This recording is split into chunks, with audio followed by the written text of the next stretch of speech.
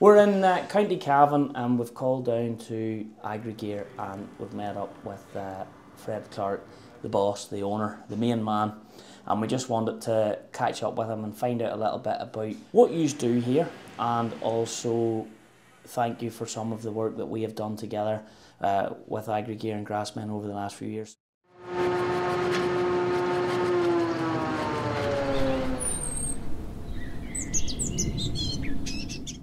Tell us a little bit about how you got this business to where it is today because from the outset it's a very impressive business when you take a look at the scale of what goes on here. Well, Garrett, you're very welcome. You're not a stranger, you've been here before. yep. You've been down with your tractors and mm-hmm. we've done our best to get the machines up and going. Can you tell us, just give us the, the guts of what it is Agri-Gear does? We're the main importers for BKT tyres. That's our main bread and butter today. We import a lot of rims then as well for OE equipment, implement wheels and implement rims. And the tractor rims, uh, they're all manufactured on site. We, we import the raw materials, the outer rim and the centre dishes, and we shape them and weld them and machine them. But the rims, I did not realise this. Like Agri-Gear is without a shadow of a doubt, the main player at this job in Ireland, if not the only player at this job in Ireland. I can't answer that. Go to any of the main manufacturers in Ireland, and we've had them throughout the years, trailers and that, and it's it's your rims and tires and the most of them, Fred. Is that I'm, I'm, I'm I hope I'm not speaking out of turn, but that's what it seems like. Well, we do uh, our share, I suppose, if we could get a good share of the market in which we hold.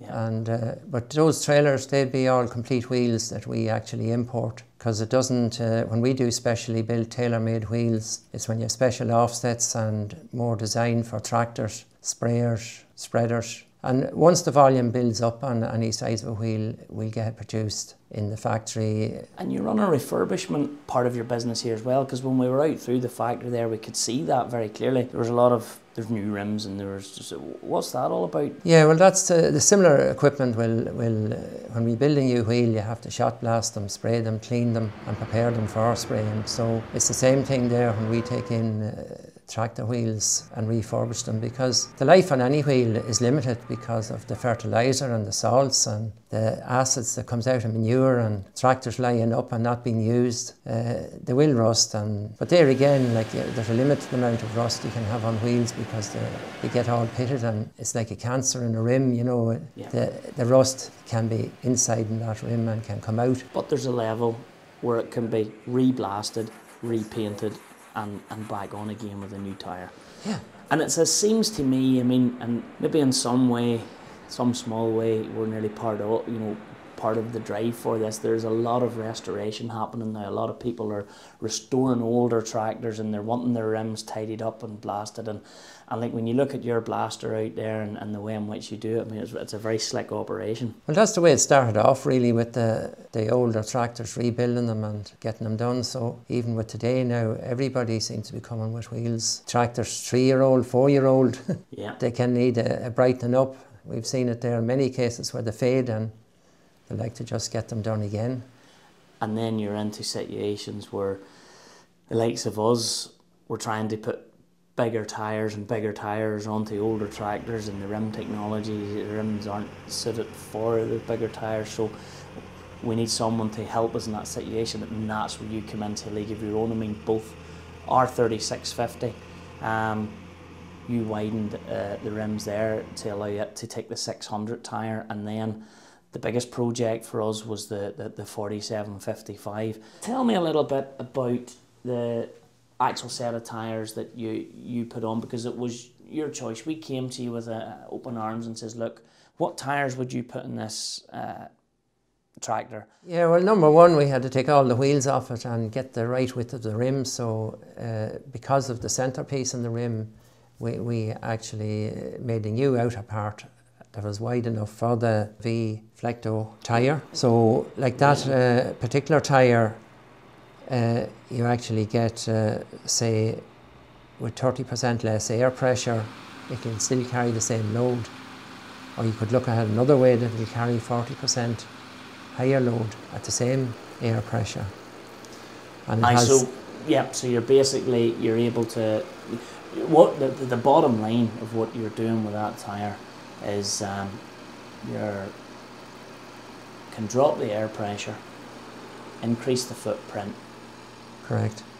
ultimately get more ground contact, Yeah. and technically more grip. Mm, down to 8 psi, from 8 Yeah. psi to 14. It'll work within that range depending on the actual load and what you're pulling.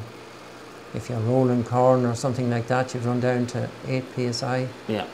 If you're actually putting out slurry with a slurry tanker or heavy loading, you'd run at 14 very- psi. and yeah, and very fast. Well, that, and you know, I must say, just on the back of that, I was personally delighted with how it performed.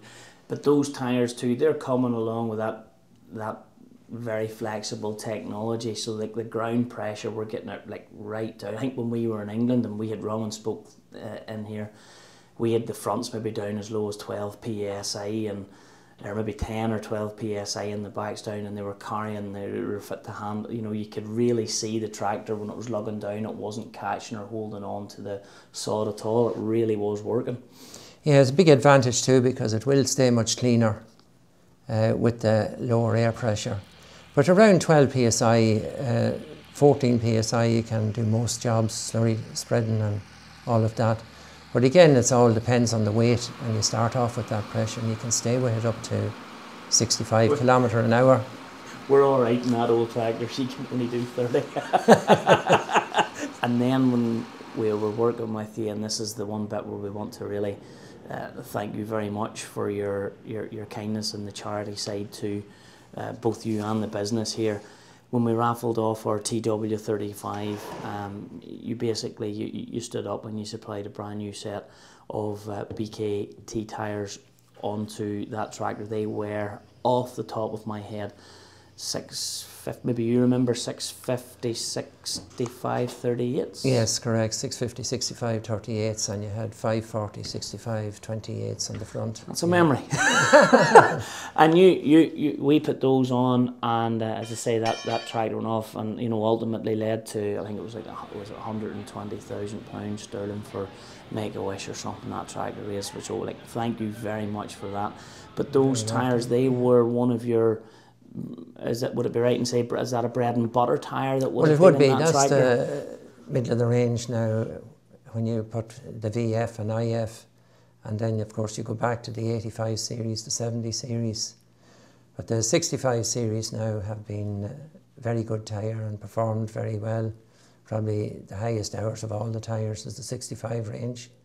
And then I have a, a my my son's pride and joy, the little uh, the little Dukes, and we have a wee set of uh, BKTs in it as well.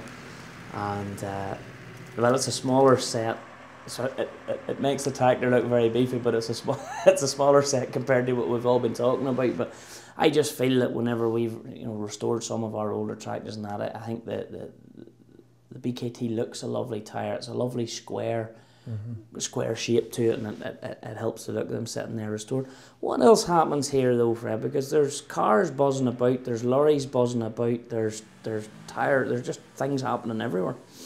Yeah, well, we do uh, take in and fit tyres. Uh, we have the aftermarket there that we supply as well.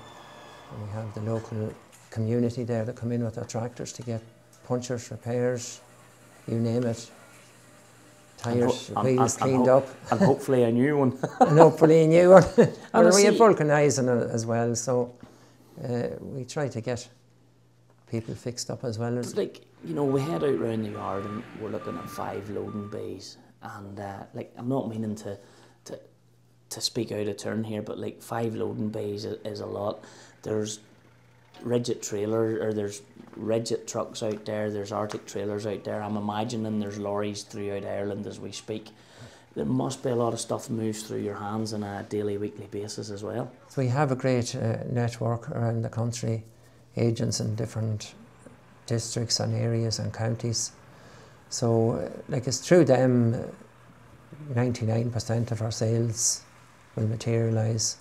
But it's not just agri tires you're working with here. Now I know agri tires covers the vast percentage of it. I think we all know that from looking around. But like I was blown away. I seen tires out there like these big smooth tires, like they were like industrial tires, and I suppose you, must deal a bit with the construction side as well, or Yeah, well, they're all off road. The full range in BKT, they, they concentrate on off road tyres. That goes from forklifts to dump trucks, mining equipment. Like we're in an area here where we have a lot of mining around here, so A underground mining mining, and quarries, you name it. So we supply that end of the market as well. And BKT, they don't really bother much, like in the lorry side of things or car side of things. They stick with No, not on the uh, on road. No, uh, army vehicles, all right. They have army range of tyres to do, whereas again, as I say, they're off road as well as road. You run a range of tires then also for cars and people were coming in there. There's cars getting tires Yeah, there yeah. all morning. Yeah, for years we were agents there for Nokian tyres, and now we have the full range of car tyres and van and jeep, and it's multi brands that we stock. So we have the fitting service. So you've so you're fitting for tractors, you're fitting for industrial, you're fitting for cars. You, you can do it all. Yeah, quads, you name it, barrow, wheelbarrows, trailers, builders, trailers. How long have you been in business, Fred? Yeah, well, we're 40 years in business this year. Forty years. 40 years, there you go. So we'll be celebrating that later on. Aye, well, don't forget my invite. we would like a wee night out. so you're 40 years in business this year. Wow, that is fantastic. How long have you? What did? How did you start 40 years ago? If you don't mind me asking. Yeah, well, 40 years ago now, we did, uh, it's a totally different business. I was a contractor and uh, grain grower. Pigs, were into the pigs at that early, in the 80s. Uh, or in the 70s, that was in the 70s now, that was in the Ah. contracting and So your your secret's out. You're the secretly secret's a, you're secretly a farmer. farmer. You're you're you're a farmer turned businessman. Is that the correct yeah, way yeah, to word yeah. it? Well, we had tough times in the late eight, eight, late seventies, and uh, just changed the whole business. I got advice to not continue with what we were doing. We We're milling grain and growing grain and storing grain. So the buildings here came in very handy for that. In fact, I started off in the lower, smaller sheds when the business came in first because this main shed was rented out for warehousing. So we, like I had a good friend in Holland and I have been back and forth to the Netherlands for now and again over a couple of years and I began to see opportunities there in the second-hand market and army, especially the American army in Germany. There was a lot of uh, tyres and wheels coming off the army trucks and rocket launchers, you name them. And you you thought to yourself, I could bring some of this stuff. Yeah, we started to buy it, and uh, my friend over there, I used to go down to the army there in Stuttgart and uh, give him a hand there to scrap the old vehicles and go off and sell the aluminium. And I would bring the wheels home here to Ireland. But when I got them home, you see, they wouldn't fit anything.